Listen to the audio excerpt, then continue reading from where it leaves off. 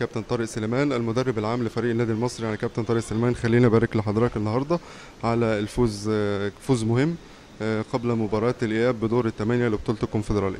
الحمد لله طبعا على الفوز النهارده إن أنت تفوز 1-0 دي حاجة كويسة جدا. اللعيبة أدت بشكل طيب جدا. اللعيبة كانت رجالة قدروا ينفذوا وقدروا يوصلوا الجون أكتر من مرة وكانوا بيدافعوا كويس جدا. ممتلكين نص الملعب. قدرنا نقفل مفاتيح لعبهم. آه هم فرقة قوية جدا وعندهم خبرات إفريقية. إحنا لعبتنا الحمد لله يعني بقى لهم سنتين في إفريقيا يعني.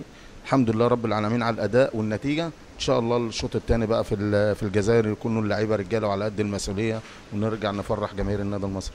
النادي المصري وجماهيره الحمد لله من ساعة ما لعبنا مباريات افريقيا في بورسعيد وهم بيشجعوا بشكل راقي جدا أدائهم في التشجيع عالي جدا إدوا يعني درس لكل الجماهير داخل أو خارج إن النادي المصري عنده جماهير آه، واعية عنده جماهير بتشجع النادي المصري من قلبها بتحافظ على النظام والالتزام داخل الاستادات. الحمد لله إن هم أدوا يعني درس للناس كلها يخلينا إن إحنا نرجع إن شاء الله نلعب في بورسعيد بإذن الله.